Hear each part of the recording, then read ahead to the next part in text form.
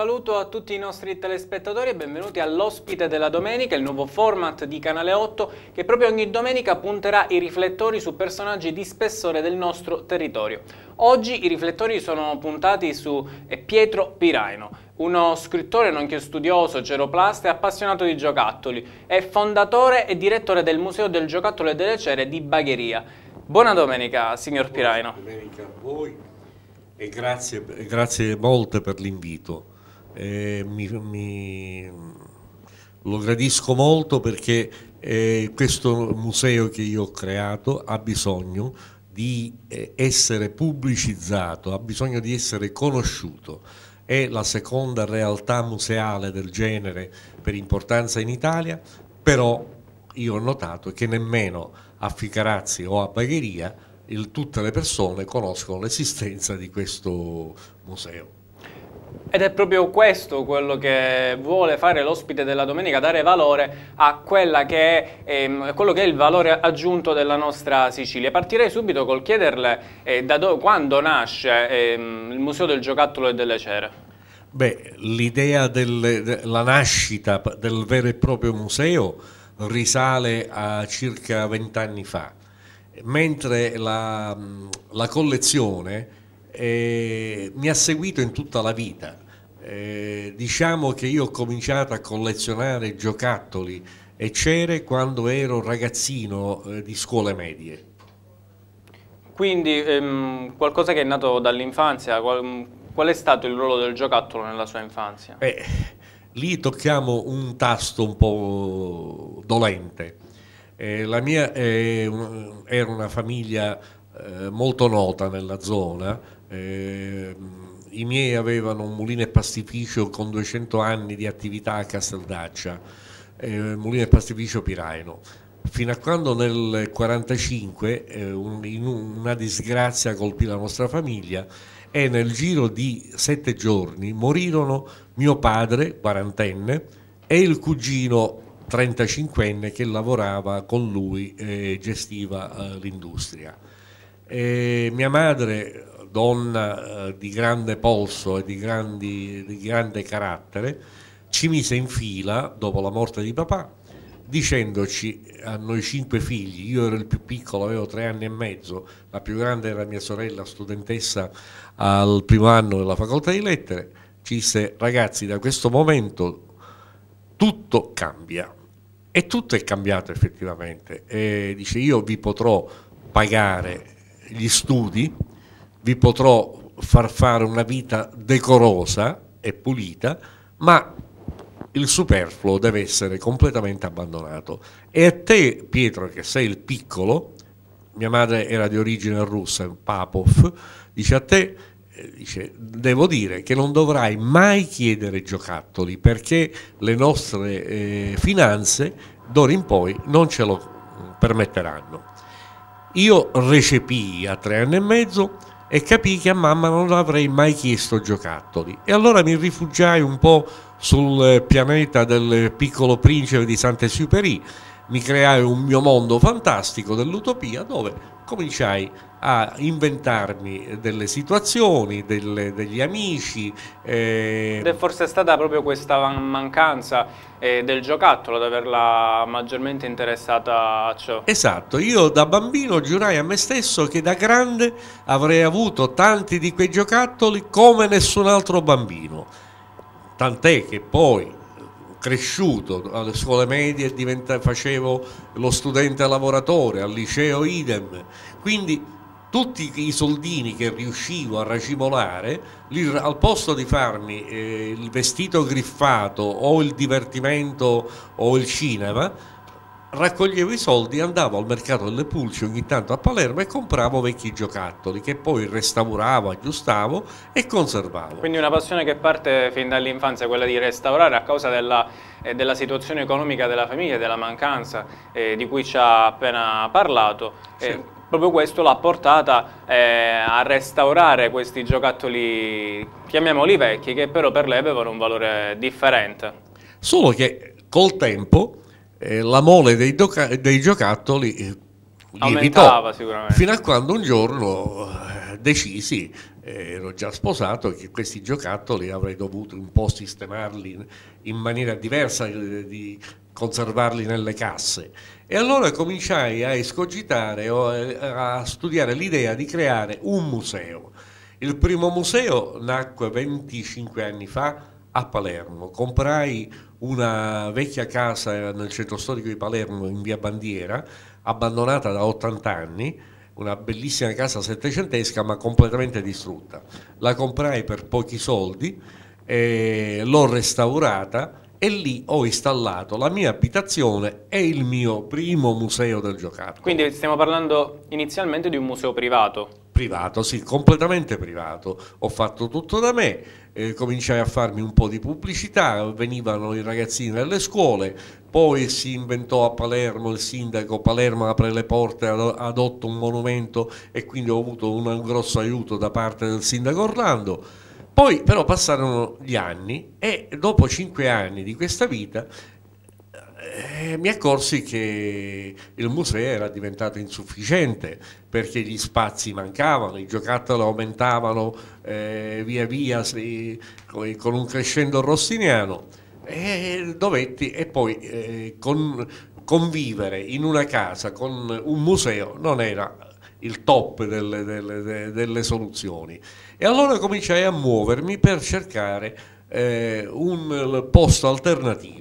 Ed è giusto infatti che i nostri telespettatori sappiano che il Museo del Giocattolo delle Cere non ha mai avuto ehm, diciamo, una sede fissa, ehm, ha avuto un excursus storico nel, nei suoi trasferimenti, quindi ehm, voglio un attimino delucidare eh, i nostri telespettatori su quella che è stata eh, la storia del Museo del Giocattolo e dei suoi trasferimenti. Adesso si trova eh, nella Certosa di Villa Butera, ma, ha avuto un passato, quindi... Sì, certo. E quando io eh, notai che era ormai diventato impossibile gestire a casa mia questo museo, un giorno decisi di trovare un po' di fondi e il direttore della Fiera del Mediterraneo mi mise a disposizione un padiglione, io feci una mostra temporanea lì e eh, cominciai a raccogliere fondi per trovare una soluzione diversa. Eh, un giorno eh, in questa mostra eh, approdò un signore di Bagheria, il dottor eh, Masino di Salvo, che io non conoscevo, non avevo mai visto, e mi disse, vide la, eh, di che cosa si trattava e mi chiese, ma dice, ha mai pensato di fare una mostra a Bagheria? Ma dico io non conosco nessuno, ci ho fatto le medie a Bagheria, ma dal, non ho amici lì se non eh, Ferdinando Scianna che ormai vive eh, a Milano e basta. Dice ora, dice, mi dia il suo indirizzo, la richiamerò. In quel periodo il eh, comune Bagheria era sotto commissariamento questo signore eh, di Salvo andò a parlare col commissario, mi chiamarono a Bagheria e mi offrirono, il comune mi offrì di fare una mostra di tutti i miei giocattoli a Villa... Mh, mm, Villa Palagonia forse? No, dove c'è la Guttuso? Eh, Villa Aragona Guttuso? No, Villa Guttuso, il museo Guttuso. Ok. Abbiamo capito di cosa si eh, tratta. Vabbè, una sto minuto lapsus mentale. E allora ehm, siamo andati a parlare con la dottoressa Favatella, che era la direttrice, e abbiamo organizzato nel giro di pochi giorni una mostra bellissima. Era il mese di agosto, eh, soldi al solito non ce n'erano, abbiamo fatto tutto in economia, un bellissimo manifesto. Morale della favola, a questa mostra parteciparono in due mesi 3.000 e più persone. Villa Cattolica. Perfetto, Villa Cattolica. Finita la mostra, io dovevo eh, ritornare col, al mio museo e infatti tornai al mio museo. Dopo un po' di tempo il eh, dottor Biagio Sciortino, che allora era assessore alla cultura del comune di Bagheria, mi chiese un appuntamento e venne a Palermo con Masino Di Salvo e la signora Dora Alfavatella Locascio. Mi chiesero, ma lei sarebbe disposto dato che ha problemi di spazio, a venire a Bagheria e mettere il museo a Bagheria? Ma dico senz'altro, per due considerazioni. Uno perché sono nato e cresciuto a Casteldaccio, ho fatto le medie a Bagheria e, e poi perché... Sicuramente lo spazio. lo spazio. E mi hanno offerto eh, metà del piano nobile di Palazzo Cutò. In men che non si dica, con grandi sacrifici, ho traslocato tutto il museo lì. Abbiamo fatto una bellissima inaugurazione eh, con eh, il comune mi ha aiutato moltissimo in questa operazione. Come è andata a Palazzo? A Palazzo Cutò è andata bene perché eh, per contratto il comune mi aveva dato il personale di custodia, eh, le donne per le pulizie e poi mi pagava le utenze e io davo il 50% dell'incasso dei biglietti al comune. Siamo andati avanti per 12 anni. Per Perché poi anni. arriva questo trasferimento a, eh, alla Certosa di Villa Butera? Arriva questo trasferimento perché il comune di Bagheria eh, nelle More aveva elaborato un progetto per restaurare la Certosa e aveva chiesto eh, alla comunità europea e al Ministero dei fondi per questo restauro. E eh, la comunità europea e la, il Ministero da Roma eh, bloccarono il tutto dicendo ci vuole un, una destinazione d'uso, dovete eh, dichiarare e il comune dichiarò, eh, rifece il progetto eh, mettendo che la destinazione era quella di ospitare definitivamente eh, il Museo del Giocattolo delle Cere del professore Piraino. Siccome nel 1750-60 circa a Bagheria, dentro la Certosa, nacque il primo museo al mondo delle cere, il Museo della Certosa. Figuratevi che i musei importanti di Londra e di Parigi sono nati nell'Ottocento, a Bagheria nel, mille, nel metà Settecento c'era questo Museo delle Cere, dove venivano i regnanti, venivano i grandi viaggiatori dal Goethe allo Schiller, eh, il re di Francia, il re di Borbone, eccetera. E lì dentro c'era questo museo con eh, 12 statue in cera, grandezza naturale, che raffiguravano dei monaci eh, trappisti con le varie ambientazioni, con i mobili e tutto, e quadri e quant'altro.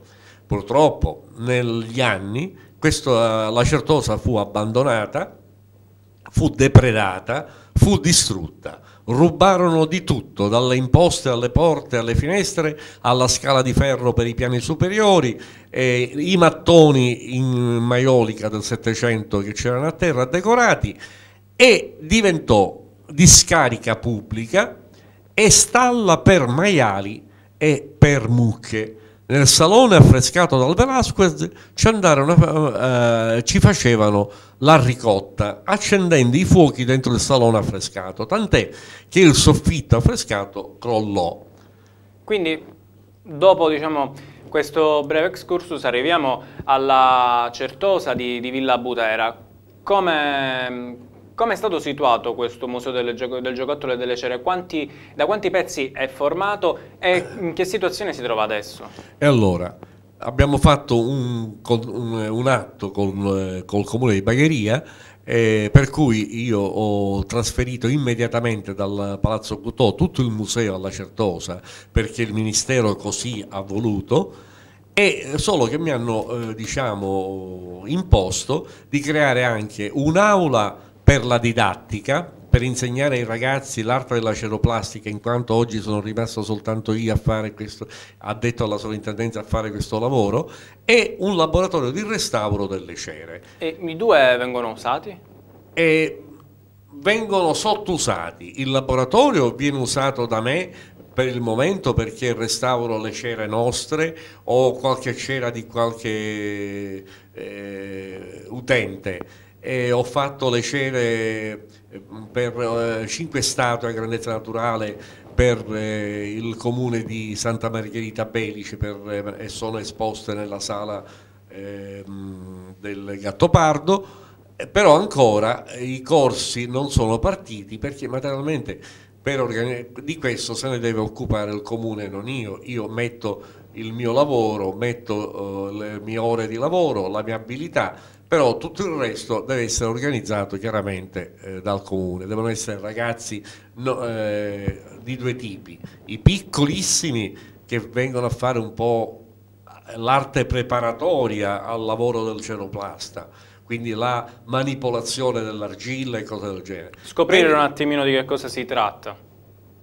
Beh, l'arte della ceroplastica è un'arte antichissima e molto difficile, molto complessa perché si parte dalla manipolazione dell'argilla, si fanno i prototipi in argilla, poi sull'argilla si, si fa la forma in negativo in gesso, questa forma spezzettata in vari pezzi, poi nella forma in gesso si cola la cera calda colorata, poi i vari pezzi di cera sformati vengono assemblati a caldo a mano e rifiniti a mano, poi ci si mettono i capelli, ci si mettono eh, i baffi, eh, i, i, denti, gli occhi di vetro che vengono prodotti in Germania, sono eh, di vetro soffiato, poi vengono in, inseriti o se sono grandi in una stanza eccetera o in una vetrina oppure nelle eh, campane di vetro o nelle scarabattole se si tratta di piccole cere a soggetto sacro o profano. Parliamo adesso un attimino di quello che è il Museo del Giocattolo e delle Cere di Pietro Piraino. Da quanti pezzi è composto? Mm, non so, ce li vuole suddividere in categorie? E allora, il museo è sotto vincolo del Ministero dei Beni Culturali per l'alto valore demoetnantropologico e storico-artistico, eh, conta di 1500 pezzi, eh, più 100 cere antiche. Eh, il museo eh, ha una, varie tematiche, da padrone lo fanno le bambole, chiaramente, che è il giocattolo principe, ma poi ci sono i giocattoli eh, dei, dei, vari periodi storici, per esempio come giocavano durante il fascismo in Italia i bambini e le bambine, eh, i giocattoli degli anni 30, la moda dei bambini, come vestivano i bambini nel Settecento, nell'Ottocento, negli anni 30. Eh, poi le, le, varie tipologie di, per esempio di bambole, la bambola di porcellana, la bambola di cera, la bambola di celluloide, la bambola autarchica del periodo fascista. Quindi ci sono vari, vari itinerari e sono, eh, nel museo, se, seguendo un po' la, le didascalie sui, sui, sulle vetrine, si ha un, un quadro chiaro dell'evolversi del gioco e del giocattolo. Ma quali sono le, le, ragioni che possono spingere un uomo a dedicarsi totalmente eh, in quella che è l'infanzia e quindi nel giocattolo? Perché conservarlo e creare un museo del giocattolo? Beh, questa è stata sempre mia, un mio pallino, una mia fissazione. Io parto dal presupposto che nella vita si nasce, si cresce, si muore. Se non si è fatto niente per gli altri, se non si è creato qualcosa per farsi ricordare, bene, quando si muore si chiudono gli occhi, tutto finisce, dicevano i francesi tu passe, tu casse, non ne resta niente. E allora questa cosa dell'inutilità di una vita mi ha sempre eh, creato dei forti dubbi e io da ragazzino ho sempre detto devo fare qualcosa che mi consenta dopo la mia dipartita di, essere, di continuare a vivere nel ricordo degli altri. Ma gli altri chi? A me interessa molto, vede, eh, eh non è che io voglio essere polemico con gli adulti, ma gli adulti hanno i loro problemi, hanno le, eh, le loro esigenze, eh, non si fa niente per niente. Il bambino deve soltanto ricevere, no? No, il bambino può dare sorrisi, può dare eh, eh, carezze, non può dare altro. Giocare è un diritto, sancito dalla È un diritto, certo che giocare è un diritto, ma il concetto eh, stesso di gioco dà importanza al giocattolo. Il giocattolo, come veniva inteso prima, ora non più purtroppo, il giocattolo è un mezzo per imparare a vivere, ad affrontare la vita futura del bambino. La bambola, per fare un esempio, eh, abitua la bambina a quella che sarà la sua vita futura e il suo ruolo di madre, di sposa. Di, eh, eh, e il... quindi vogliamo diciamo, e dare ai nostri telespettatori una, una, spiegazione del perché la bambola colpisce così tanto l'infanzia di una bambina. Ma perché eh, è insito nella natura delle, delle, delle donne eh, il desiderio di maternità, il desiderio di avere dei figli, di accudire a dei bambini. Quindi, sin da piccolo, le È bambine, un bisogno che si ha fin dall'infanzia. sin dall'infanzia, si abitano a, a questo gioco che è propedeutico alla loro vita futura. Eh, c'è poco da fare. Come, mentre per i maschietti il gioco diventava accademia, diventava scuola di vita, cioè il bambino lavorando con un martello, con chiodi, un pezzettino di legno, se aveva la passione per la falegnameria, diventava falegname. E se aveva, eh, gli piaceva per esempio disegnare o dipingere, sarebbe andato al liceo, al liceo artistico, all'istituto d'arte, sarebbe diventato un pittore, un decoratore e così via. Parliamo persino della, dei contadini. Il, il, bambino nato e cresciuto in campagna, che ha, che ha, giocato con i giocattoli fatti dal padre in grande economia e, e manualità, e che solo con la manualità, a un certo punto impara dal padre le tecniche di coltivazione, di, eh, di gestione del terreno, ma nello stesso tempo si appassiona giocando con la zappetta. Io nel museo ho i giocattoli proprio eh, pure della civiltà contadina e marinara, eh, fatti dai bambini con l'aiuto dei genitori e con questi giocattoli i bambini si esercitano e abitano la mente al loro futuro. Quindi qual è il, il suo concetto di gioco nel, nell'infanzia di un bambino? Come è, è giusto giocare? Ma è giusto, gio il gioco e il giocattolo devono avere due funzioni di pari valore, ma che camminano assieme. Il gioco deve essere un fatto ludico, quindi di, di puro divertimento e gioco, ma deve essere anche deve avere un, un input eh, di, eh, di, documentazione, di didattica. Il bambino deve imparare attraverso il gioco. Quindi imparare divertendosi. Divertendosi. Assolutamente. Ma, mh, la ceroplastica è un'arte che oggi non, eh, non, è tanto conosciuta. Eh, sicuramente i nostri telespettatori si staranno chiedendo di, di, che cosa si tratta, qual è il lavoro di un ceroplasta, come parte il lavoro di un ceroplasta allora, dalla mattina alla sera? La ceroplastica, arte antichissima, un, eh, io ho scritto ultimamente un libro proprio sulla ceroplastica in Italia per far capire le origini di quest'arte eh, sino al 1945 ogni paesino del sud de, dell'Italia, eh, compresa la Sicilia, aveva il suo maestro ceroplasta. In alcuni paesi c'erano maestri con la M maiuscola, in altri con la M minuscola, ma ogni paese aveva una o due famiglie che lavoravano la cera. A Palermo, sino al 1945, c'erano ben 68 famiglie che vivevano lavorando col lavoro della, della cera. Perché la cera? Se un, una persona, uno scultore, per esempio, aveva la fortuna, chiamiamola poi, per altri può essere una sfortuna, di nascere a Milano, a Venezia, a Torino. Ci sono vari dibattiti in corso, ovviamente. Se aveva questa fortuna e voleva fare la statua di una Madonna, non aveva grossissimi problemi, poteva farla in marmo di bianco di Carrara, in bronzo, in argento, per carità, pure in oro. Tanto i soldi lì ci sono sempre stati, ci sono e si pensa, si pensa, oggi come oggi non ne sono più molto sicuro, ma che ci saranno anche in futuro. Se invece il, lo scultore aveva eh, la, la mala sorte di nascere o in, nel sud dell'Italia e voleva fare la stessa Madonna, aveva dei grossi problemi, doveva trovare un materiale che costasse poco, meglio ancora se non costava niente. Cosa di più economico della cera? La fanno le api e che mi risulti oggi nessuna ha mai chiesto uno stipendio o ha mai pagato l'IVA. Le api non hanno No, ancora diciamo non, è, non, è.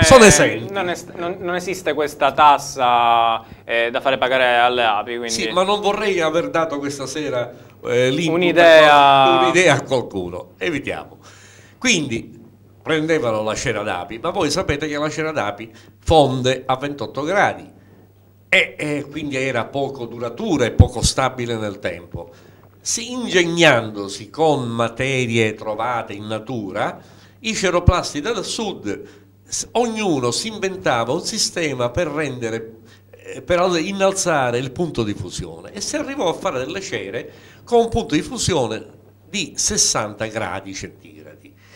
Queste cere poi messe in scarabattole per proteggerle dai raggi de, del sole e dalla polvere, poi riempivano i monasteri, riempivano le chiese, ogni casa che si rispettasse aveva almeno sul cassettone della stanza da letto dei genitori una campana di vetro con dentro il protettore della casa. Se in quella casa c'era la tradizione che tutti si chiamassero Giuseppe, avevano la, cera di San Giuseppe, se si chiamavano Pietro avevano la cera di San Pietro.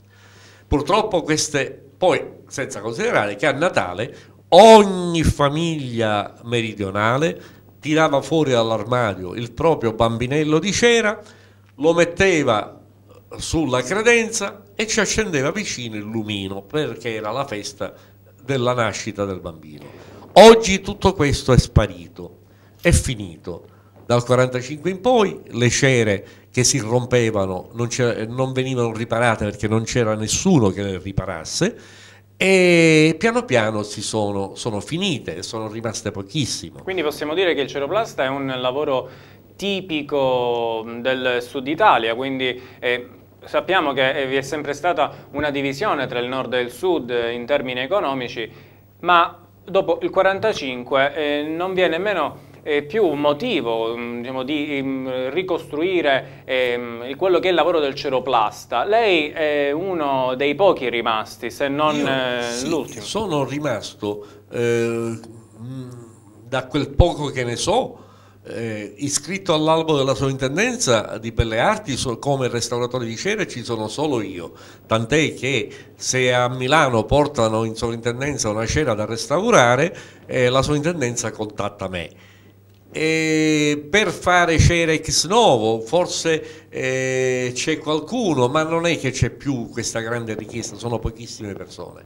Quindi io mantengo che ho 72 anni e sto cercando di trasmettere a mia figlia questa mia arte in modo che almeno questa scuola di ceroplastica possa continuare anche nel futuro.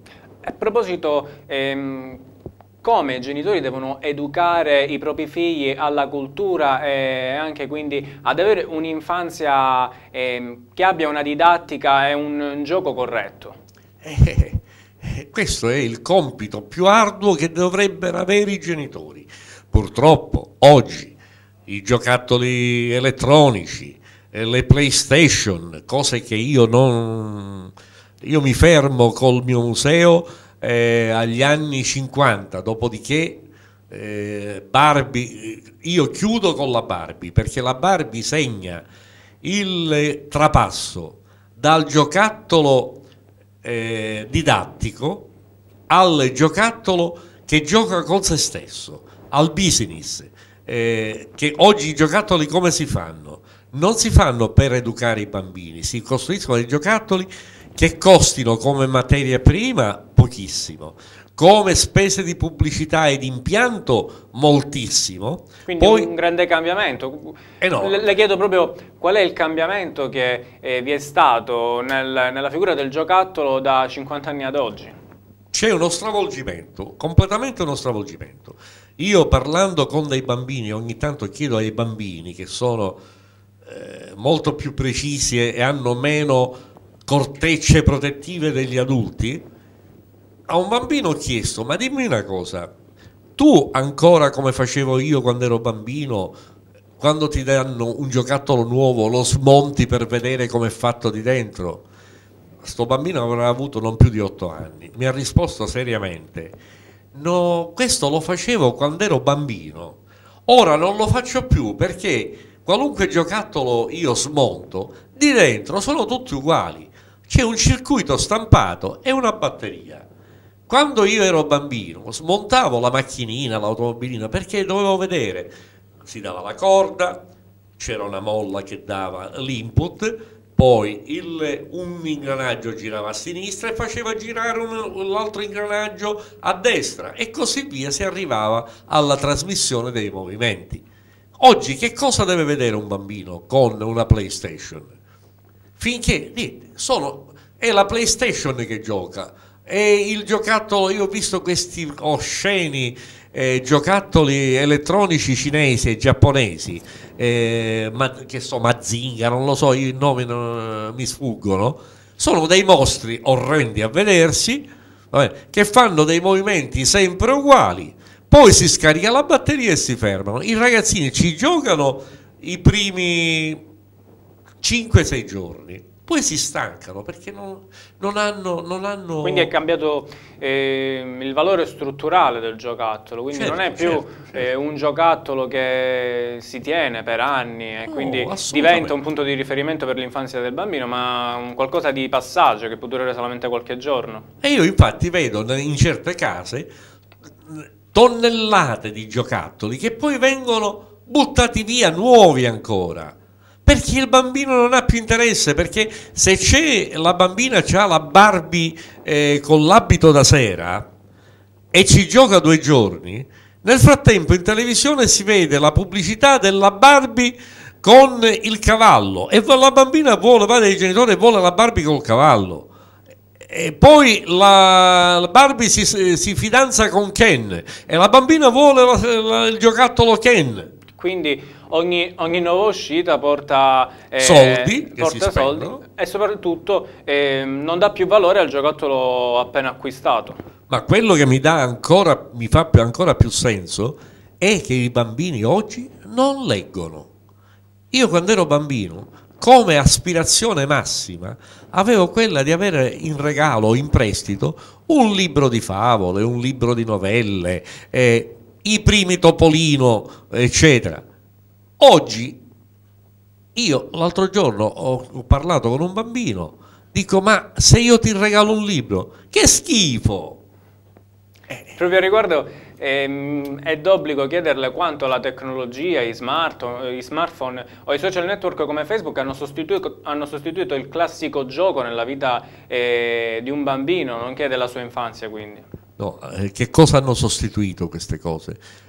Hanno, non hanno sostituito, hanno creato un meccanismo per dare delle nozioni sballate così in aria, non approfondite ai ragazzi, i quali cliccando dalla mattina alla sera col telefonino o col computer assorbono delle notizie. Ieri vedevo per esempio un mio nipotino con un tablet, si chiamano così ora, ed era, sentivo degli strani rumori, dico ma che stai guardando? Guarda nonno che, che bello, che bravo questo ragazzo americano, fa tutti i versi possibili e immaginabili con la bocca, versacci. Ormai oggi eh, il diverso diventa qualcosa a cui dare valore. Sì, sì, è proprio così, è proprio così. A proposito, ehm, lei parlava di suo nipote, il ruolo delle sue figlie nel, ehm, nel, portare avanti questo progetto di conservazione in un museo dei giocattoli, qual è stato? È fondamentale. Eh, le mie figlie sono nate e cresciute in casa con me in questa atmosfera di, di gioco e di giocattoli antichi. Quindi Sicuramente quando... non, eh, eh, non, avranno avuto pochi giocattoli. Le... Un mare, un mare, però quando si comprava un giocattolo alle mie figlie, io e mia moglie eh, cercavamo, la mia ex moglie, cercavamo, facevamo una, una cernita. La bambola doveva essere la bambola di pezza. Io al museo ho eh, due bambole di pezza che erano delle mie figlie quando erano piccolissime eh, si regalavano eh, gli attrezzi per, per, cucire o per disegnare o per colorare. non si regalava mai qualcosa di elettronico, eh, non esisteva, tra l'altro non esisteva. Oggi eh, delle, le mie due figlie collaborano con me, una sta con me al museo eh, e, lav- e, lavora nella ceroplastica pure eccetera, Laila, la grande Lucilla che è madre di due eh, bambine eh, mi dà una mano importante in tutti i momenti in cui io non ce la faccio da solo con mia figlia, quindi sino all'altro ieri eh, ha lavorato lì da me, eh, ieri pure, eccetera, per, per far andare avanti questo museo che per le mie figlie è un orgoglio.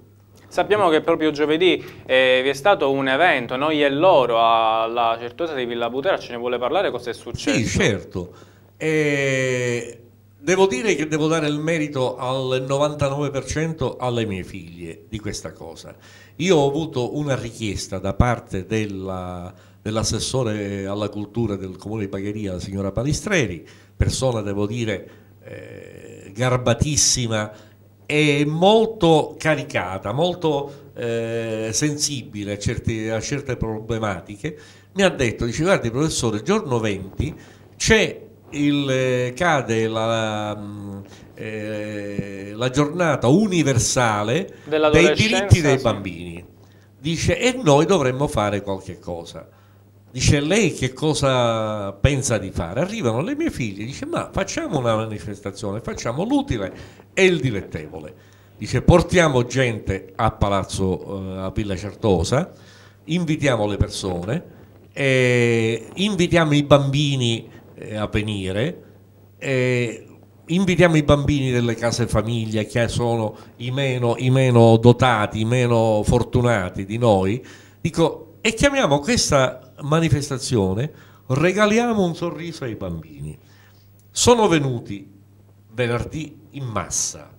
Eh, gli adulti hanno pagato una certa cifra l'uno, i bambini sono entrati gratis, abbiamo fatto la visita guidata per adulti e bambini eh, al museo, dopodiché io ho fatto venire da Palermo un mago che lavora con gli animali, il mago Molla, il quale ha fatto uno spettacolo di un'ora ai bambini e ai grandi, li ha fatti divertire, poi ai bambini abbiamo offerto una merenda alle 5, poi alle, verso le 7 e mezza, 8 i bambini sono andati via, sono rimasti soltanto eh, i genitori, ai quali eh, abbiamo prolungato la, la, serata offrendo loro un aperitivo rinforzato e, e un po' di musica dal vivo. Quindi un'ottima iniziativa, come diceva lei, per unire l'utile e il dilettevole. Ma ehm, chiamiamolo il guadagno di, questa, eh, ecco. di, di questo evento. Come, come è allora, stato gestito all'interno del museo? Sappiamo detra- che ci sono varie problematiche. tutte le spese che abbiamo fatto di eh, buffet per i bambini, buffet per i grandi, eh, il mago è stato pagato, eh, il musicista che ha cantato e suonato pure, ehm, abbiamo dato l'equivalente, abbiamo staccato dei biglietti d'ingresso, siccome noi per eh, contratto col comune dobbiamo dare al comune il 50% eh, dei biglietti d'ingresso, il 50% del biglietto de, degli adulti verrà dato, è già pronto per darlo al comune, mentre quello che resta è rimasto alla fine... È rimasto all'interno del museo? No, assolutamente, assolutamente, era nata come beneficenza e eh, abbiamo contattato una casa una casa famiglia. casa famiglia che ha dei grossi problemi economici e siamo sotto Natale, sti bambini non avranno certo dei regali e allora che cosa abbiamo fatto? Non, dare, non abbiamo dato dei soldi, eh, d'accordo con i, eh, i, sociologi della casa famiglia. Vorrei provare un attimino io ad indovinare quello che verrà regalato a questi bambini, forse dei giocattoli. Beh, hai indovinato per il 50%, nel senso che per, ai bambini piccoli non puoi dare un paio di scarpe, loro vogliono il giocattolo. E allora a ogni bambino è stato chiesto dall'assistente sociale che giocattolo volesse. Hanno fatto una lista, Oggi le mie figlie sono in giro a Palermo a comprare i giocattoli richiesti dai bambini piccoli. Per i più grandicelli invece è stata fatta un'altra lista. C'è chi vuole un paio di scarpe da tennis, chi vuole un cappellino, chi vuole una t-shirt, chi vuole un maglioncino, che so, eh, Benetton, dico una fesseria, eccetera. E le mie figlie stanno comprando tutte queste cose per tutti questi bambini. Quindi, sino all'ultimo centesimo, va ai bambini. Adesso eh, ritornando su quella eh, che è eh, la, la, figura della bambola, quanti tipi di bambole esistono all'interno del Museo del Giocattolo e delle Cere, ma anche eh, al di fuori? In quante categorie si può dividere una bambola? Ma, eh, il percorso è stato studiato in modo da dividerle per, per epoca, ma anche principalmente per materiali. E allora, le prime bambole sono le più antiche in cera poi ci sono le bambole in porcellana, in biscuit. Poi dalle porcellane in biscuit eh, ci sono le bambole in impasto, le cosiddette bambole in composizione. Poi c'è una vetrina intera dedicata alle bambole autarchiche, cioè le bambole che furono eh, realizzate durante il fascismo, quando l'Italia, messa all'ostracismo, eh, non aveva più le materie prime per, per fare e lavorare la porcellana. E sono fatte però l'artigiano italiano è un artigiano con grosso cervello si inventò un impasto fatto di crusca di grano impastato con colla di falegname e gesso e fecero delle bambole eccezionali bellissime.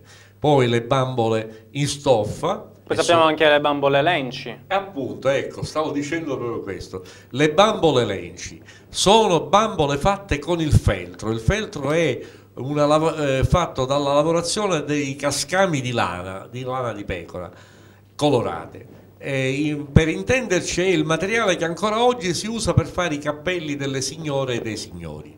Questo sistema di fare bambole in feltro fu inventato da due, una coppia di eh, torinesi, lei di origine austriaca, lui italiano, che nel 1928 aprirono una fabbrica di queste bambole. Bambole curatissime, raffi eh, raffinatissime, bellissime.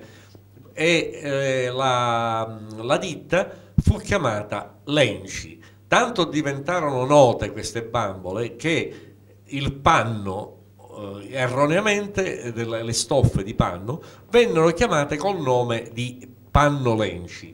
Non solo, ma quando eh, si voleva dire a una bambina o una ragazza che particolarmente bella, che era particolarmente bella, si diceva sembri una bambola lenci. Quindi un complimento. Un complimento. Se io oggi lenci. dico a una ragazza sembri una bambola lenci, il minimo che ci ricavo è uno sganassone ma allora era, era una cosa molto seria.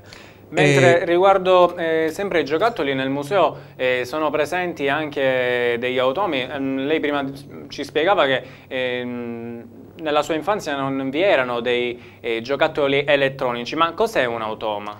Beh, l'automa è un giocattolo che fa dei movimenti. Oggi i movimenti vengono fatti col circuito stampato e una batteria. Nel 1700 in Europa, cominciò in Inghilterra, cominciarono a nascere i primi automi fatti con sistemi di carica a molla, con cariglione. Al museo abbiamo due eh, scimmie, la scimmia ciabattino e la scimmia eh, eh, suonatrice di violino nelle campane di vetro. Sono state fatte nel 1850 in Francia da un tale che si chiamava Falibois di questo autore ne esistono al mondo soltanto altri quattro. Queste fu, vennero in Sicilia con una storia incredibile, non si, è lungo eh, dire. Gli automi sono il, il, cercare di avvicinare il giocattolo alla, alla figura umana viva, vivente, quindi è la riproduzione del movimento umano nel giocattolo, fatta con vari mezzi. Invece sempre nel, nel museo ehm, è d'obbligo parlarne, vi è eh, un giocattolo molto particolare, una pistola a giocattolo. Ci vuole parlare perché eh, di, di, qual è il motivo che eh, rende questo giocattolo, questa pistola così particolare? Io le sono molto grato, grato eh, per l'input che mi ha dato. Eh, è il giocattolo di cui io parlo con tutti i visitatori del museo.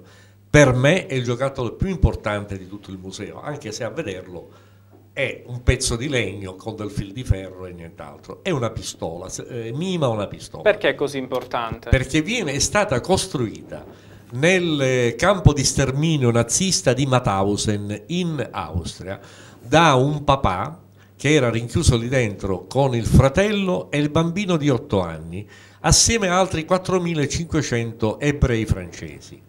Il papà per distrarre il bambino con una scaglia di vetro tagliò un pezzo di legno ad L, ci legò col filo spinato delle recinzioni il bossolo esploso di un fucile mitragliatore e la diede al bambino per giocarci. Quando nel 1945 arrivarono i russi a liberare i superstiti, il eh, papà e il bambino erano stati uccisi nelle camere a gas eh, c'erano soltanto rimasti di 4.500 ebrei, soltanto 500, fra cui lo zio, eh, docente di, eh, in un liceo a Parigi eh, di storia e filosofia. lui ritornò in Francia eh, portando in tasca eh, come ricordo del fratello del, del, nipotino, questa pistola a giocattolo. Arrivò a Parigi, non trovò nulla di quello che aveva lasciato, tutti i suoi parenti erano stati deportati, suo, la sua casa non esisteva più bombardata, lui per sopravvivere sapeva suonare il violino, andò a Plaza della Contrescarpa a suonare il violino davanti a, una, a un bistrò.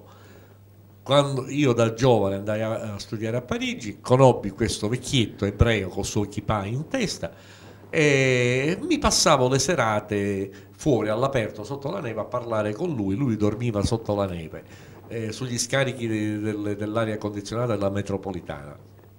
Mi fece pena e io gli offrii eh, da mangiare per, eh, in trattoria al mio tavolo per tutto il periodo che io rimasi a Parigi.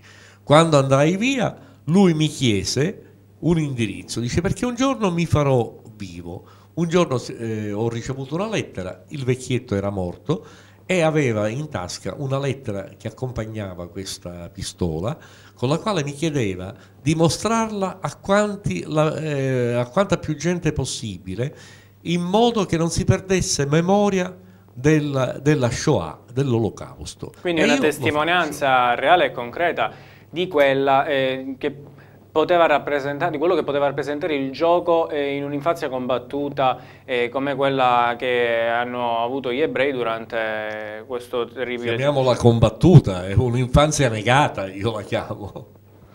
Sappiamo che lei è uno scrittore, ha scritto circa dieci libri, quale eh, tra questi libri predilige di più? Ma a prescindere ci sono dei libri diciamo tecnici sulla ceroplastica, ora a giorni pubblicherò il primo volume sulla storia dell'evoluzione del giocattolo e, e, il secondo volume andrà in pubblicazione a Pasqua.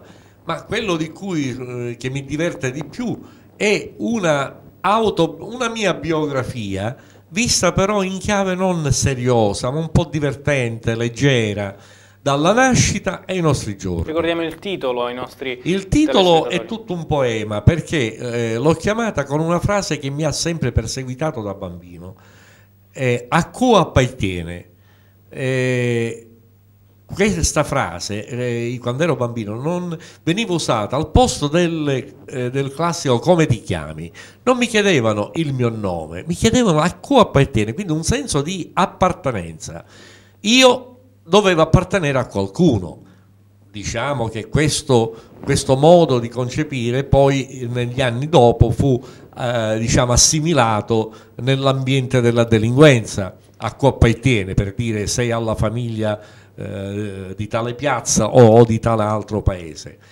Io ricordo bambino che quando qualcuno mi chiedeva a cui appartiene, io non rispondevo completamente, lo lasciavo sbattere. Poi mi facevano la domanda di riserva, ma allora come ti chiami? A questo punto non potevo esimermi dal dire il mio nome e cognome. Lì c'era la seconda frase che mi faceva imbestalire.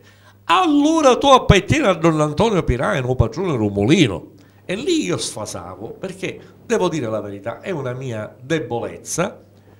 Io non ho un grande ricordo di mio nonno paterno, grande ricordo di mio nonno materno, ma non del mio eh, nonno paterno. Quindi appena mi dicevano appartiene a Don, eh, a Don Antonio Piraino, io reagivo con sonori calci negli stinchi. Ah, quindi eh, un, um, un'azione che la, la, mi fa molto ridere, eh, quella che mi, mi, sta un attimino esplicando. Un, la frase a cui appartieni è sempre stato nel, ehm, nel mondo eh, della Sicilia, ma soprattutto eh, anche di Bagheria, è presente molto anche nel film Baria di Tornatore, eh, un, una classificazione della persona, se è povera, ricca, sì. se è appartenente ad una, eh, ad una famiglia malavitosa oppure no.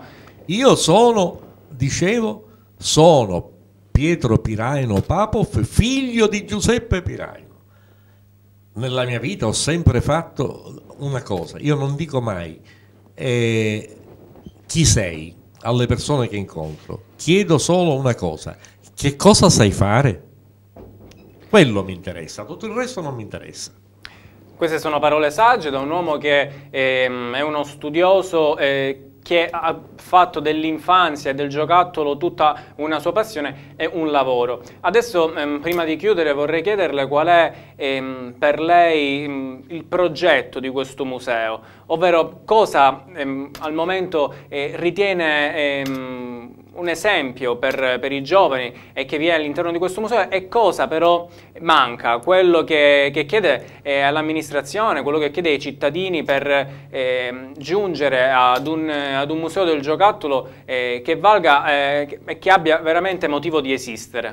E allora, in, eh, al, proprio in pole position chiedo al comune e alla città di Bagheria, ai media, eh, a tutti quanti di dare risalto a questo museo, perché non ha senso che io mi devo vedere l'assessore alla cultura del, del, del, comune di Milano che viene in visita con la famiglia al museo e dopo averlo visitato mi dice se io avessi saputo che a Bagheria, mi avessero detto che a Bagheria c'era un museo del genere, io non ci avrei creduto. Oggi le dico Professore, se questo museo fosse a Milano avremmo le prenotazioni dei turisti di tutta Europa per i prossimi cinque anni. Invece ricordiamo quante visite ci sono state quest'estate. In primavera io sono riuscito, riesco bene o male a convogliare le scuole mm, della Sicilia, Calabria, Napoletano, eccetera. E ho avuto come primo anno qui a Villa Certoso un certo afflusso. Quest'estate non è venuto nessuno io ho avuto qualche persona che si trovava a passare da Bagheria e per puro caso sapeva che c'era questo museo, l'aveva visto su internet, perché nessuno sa dare nemmeno le indicazioni. Quando chiedono, ieri delle persone hanno perso un sacco di tempo a venire lì perché chiedevano ma dov'è la certosa? Boh. E, e sono venute pochissime persone quest'estate quindi Come la richiesta è quella... Sì, continui, continui. Ne sono, devo dirlo, mi vergogno. Turisti, cioè gente che viene dall'estero e viene a visitare il museo, sapete quanti ne sono venuti? Cinque. Cinque in tutta la stagione estiva? Tutta la stagione estiva. Quindi eh, quella del signor Pietro Piraino è una richiesta di valorizzazione, di qualcosa che ehm, in Sicilia ha eh, un valore, ma non solo, quindi eh, unico ceroplasta ancora ehm, qui presente eh, che porta avanti questa, questa tradizione. Vorrei che chiudessimo questa, eh, questa seconda puntata dell'ospite della domenica dando ai nostri telespettatori e soprattutto ai più piccini che ci stanno seguendo eh, un'idea un di quello che può essere un gioco classico della sua infanzia che ancora oggi può essere ehm, rimodellato e quindi può continuare a divertire eh, mettendo un attimino eh, da parte quelli che sono i smartphone, i social network. Ma guardi, a questo proposito eh, io ricorro sempre alla persona del, dell'assessore alla cultura eh, Rosanna Balistreri che è una donna veramente capace e eh, entusiasta eh, del, del suo lavoro ho proposto, dico facciamo una cosa, vediamo di trovare un sistema per organizzare la corsa dei carrozzoni. Il carrozzone era il giocattolo di noi bambini quando eravamo piccoli, 7 anni, 8 anni si, ognuno di noi bambini si costruiva una specie di automobile, chiamiamo, con tre ruote a palline eh, regalate dai meccanici eh, delle automobili, eh, con un rudimentale sterzo e si facevano le gare in strada in discesa. Mi vecchi bagheresi mi raccontano che, lui, che loro da bambini facevano questa gara partendosi da Palazzo Butere arrivare sino alla Puntavuglia io vorrei riproporre questa cosa, l'ho proposta alla dottoressa Balistreri, alla professoressa Balistreri, la quale mi ha detto, dice, è un'idea divertentissima perché la, la lanciamo alle scuole, le scuole coordinano la costruzione ogni bambino con il papà, con il nonno, crea il suo carrozzone, si fa una specie di gara, di domenica si chiude al traffico questa strada, si fa questa gara, si darà un, un piccolo premio di partecipazione dove un oggettino a ogni partecipante e un oggettino un poco più vistoso al, a colui il quale ha fatto il carrozzone più eh, eh, bello, più intelligente. Quindi questo è un ulteriore appello che eh, si dà all'amministrazione e ai cittadini per valorizzare il Museo del Giocattolo e delle Cere e quindi anche il signor Pietro Piraino. Siamo giunti alla fine dell'ospite della domenica, questo nuovo format di Canale 8 che ogni domenica punterà i nostri riflettori su personaggi di spessore del nostro territorio che quindi danno valore alla nostra Sicilia. Oggi sotto i nostri riflettori, come avete ben visto e sentito, il signor Pietro Piraino, la ringrazio eh, per essere stato qui con noi la ringrazio, sono io che la ringrazio che mi ha dato questa possibilità di parlare del museo che io ho l'onore di dirigere. Per l'ospite della domenica è tutto, ci vediamo la prossima settimana.